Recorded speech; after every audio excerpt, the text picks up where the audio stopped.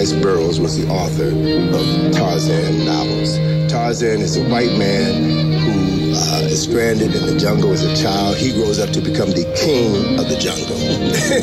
All right. So this idea of white people being the master of their domain, wherever they are, is a false narrative that creates within the minds of white people this false sense of superiority, and in the minds of black people who buy into this false narrative that white people are superior and we are inferior. Hence the beginning of this brainwashing that results in us hating ourselves and disrespecting ourselves. So I'm all about destroying the negatives, uh, destroying the negative stereotypes, the narrative, and the destruction of those narratives can always be done through historical research, empirical research, and truth.